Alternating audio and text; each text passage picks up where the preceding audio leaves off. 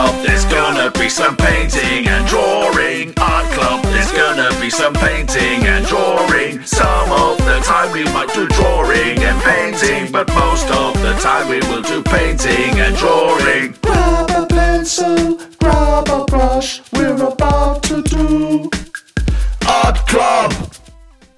Hello, everyone, and welcome. We've got a really cool episode for you today. Hopefully, you're going to find it really useful, especially with Mother's Day coming up. So, if you are watching this before the 14th of March, which is a Sunday, then this should be really useful for making a Mother's Day card. If you are watching this at any other time, then you can use the same principles that we're learning today to make a card for your favorite teacher or for your best friend's birthday or for Father's Day, whenever that is. I think that's in is it July? I, I, don't know. I really don't know. But you can use this technique for making a card for anybody. So it doesn't have to be Mother's Day, but it just so happens that this coming Sunday, if you're watching it the week that this goes out, is going to be Mother's Day. Anyway, before we get onto it, I'm going to do my usual bit about please, if you haven't, do click subscribe. Also click the thumbs up, click the like button because apparently that means that more people get to watch Art Club. Also, make sure you share all of your artwork with me using the hashtag OlafArt.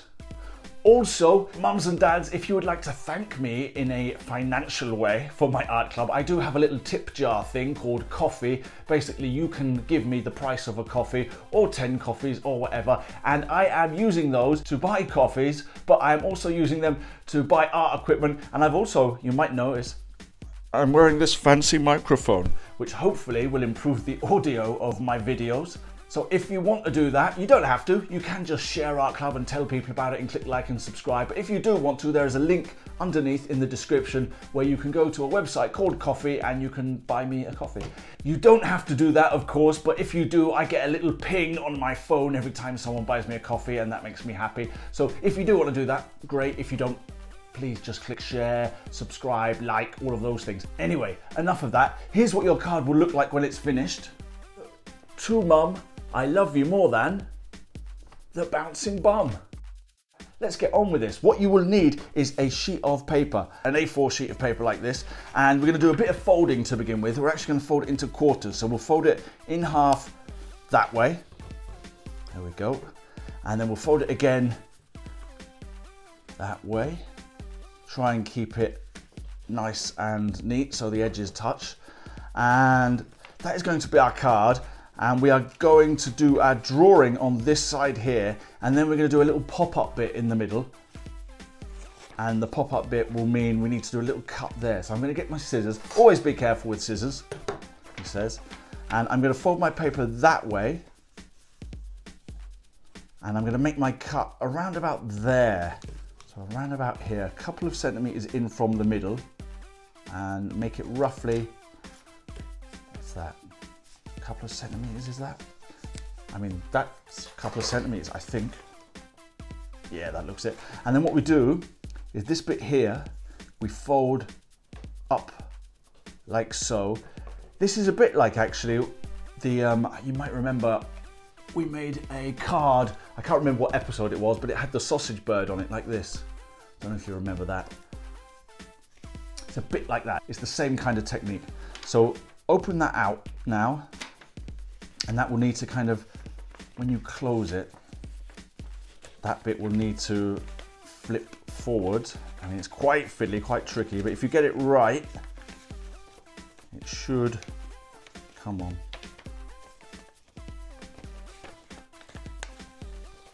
Can you see what I'm doing there? I'm just trying to make it, there we go. And we are gonna stick our bouncing bomb to that. You don't have to do a bouncing bomb if you're not really that into art club, if you're just new to it and you don't really know about the legend of the bouncing bomb, you don't have to do that. It can just be a simple Mother's Day card with a lovely message on the inside. But I know that my mum would appreciate a bouncing bomb in her card, so that's what I'm gonna do.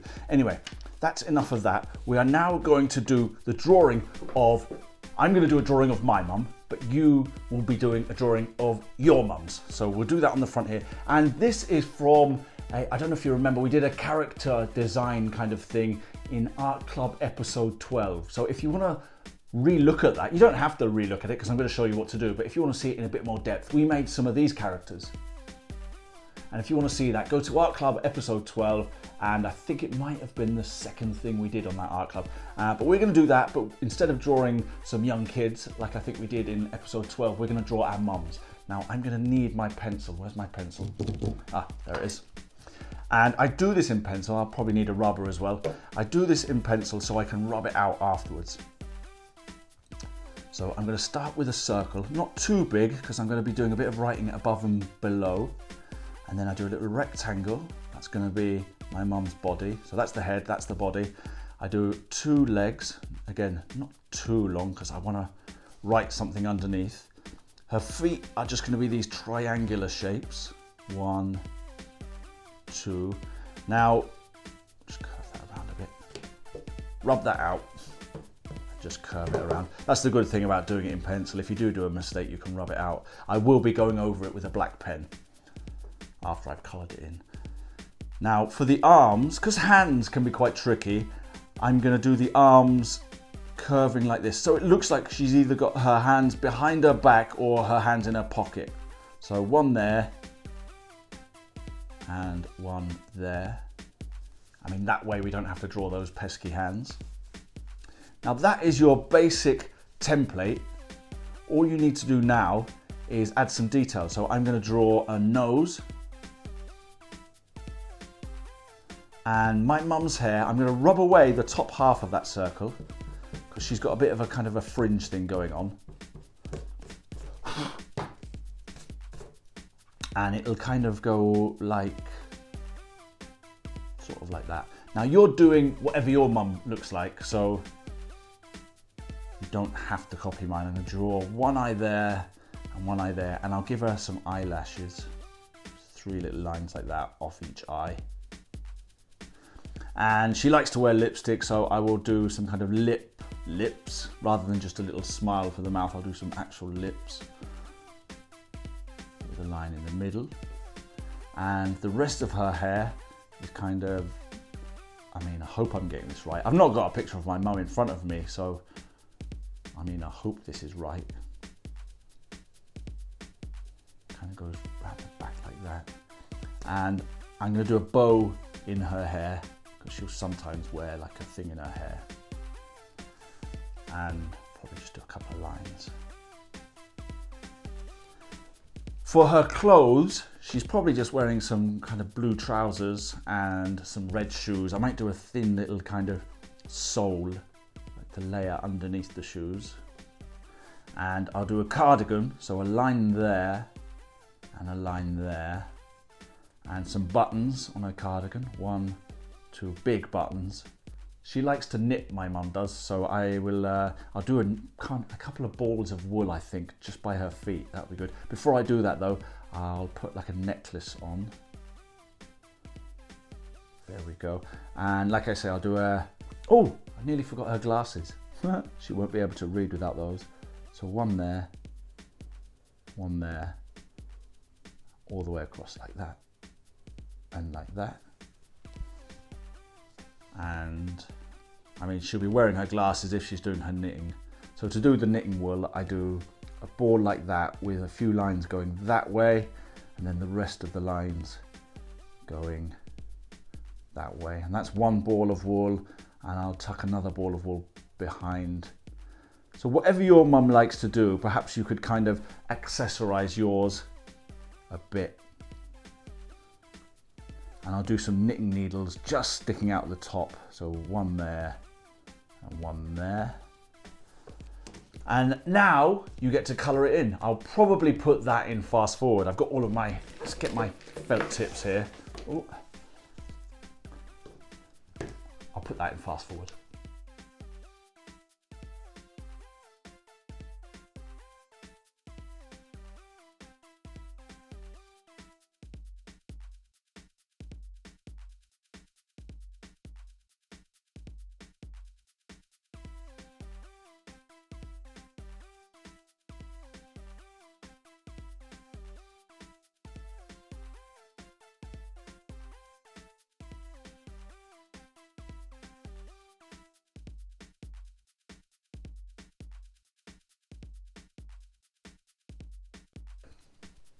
And there you go. That is my mum drawn on the front. I'm just going to add a bit of a message. And my message is going to say, to mum, I love you more than.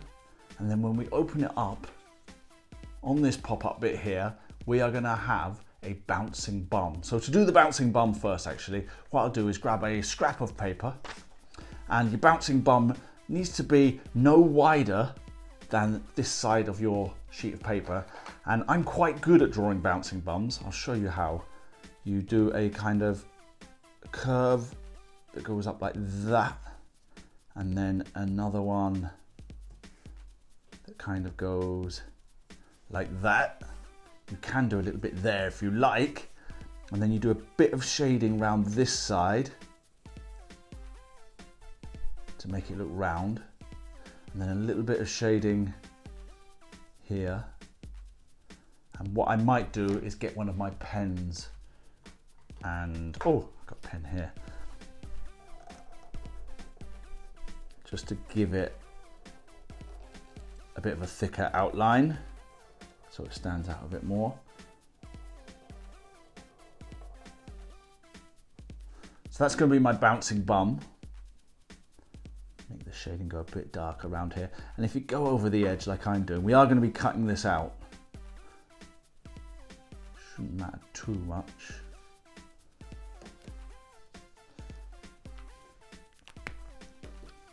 So get your scissors again and try and cut out the bouncing bum nice and neatly.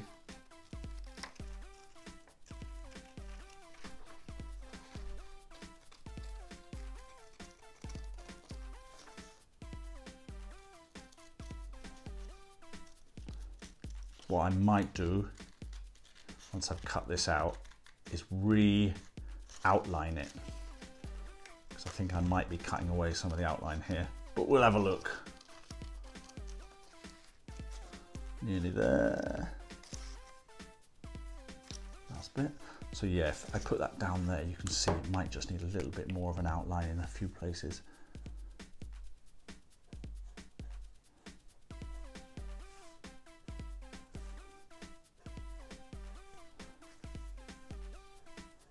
Just to make our bum stand out a bit.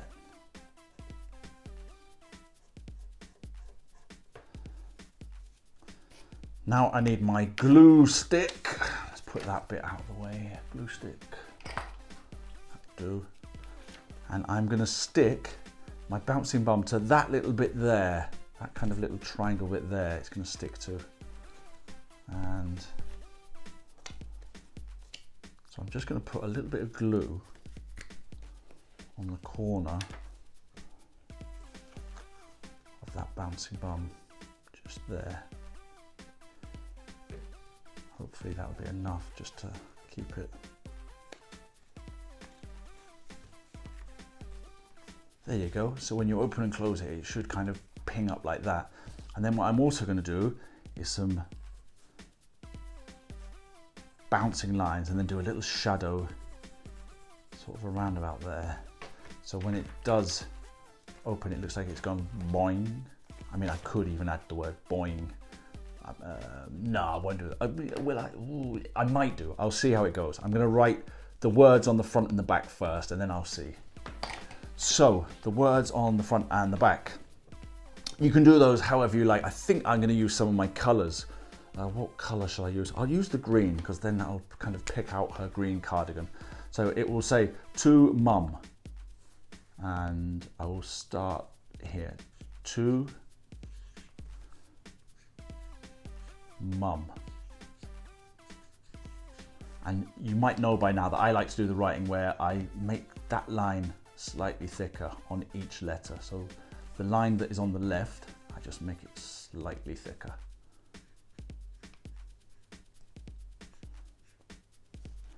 To mum, and then I'm to write here, I love you more than. So I'm to have to be quite small with my writing here to fit it in. So this is always tricky.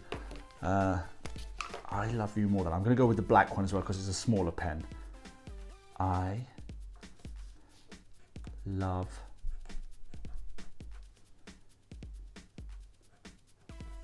you more. Am I to run out? Oh no. I love you more than. Dot, dot, dot. Nearly ran out of space. To mum, I love you more than. And then when we open it up, we've got the bouncing bum, and I'll write the bouncing bum here, and I'll do that in a different color. Let's do that in the purple. And I'm to write the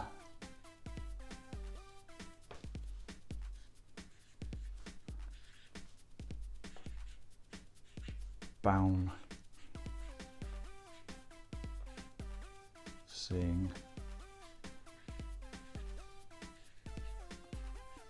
bomb and an exclamation mark.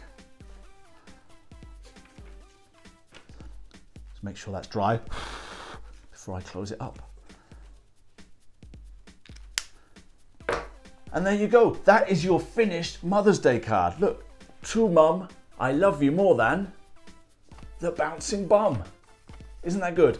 Now, like I said, it doesn't have to be a Mother's Day card. You can do this, and it doesn't have to be a bouncing bum either. It doesn't have to be pop up. You can just draw whoever you want on the front. It can be your best friend, it can be your dad, your favourite teacher, uncle, grandma, anybody. Just have lots of fun, whoever you draw. If you do draw a Mother's Day card, make sure you do share them with me using the hashtag OLAFArt.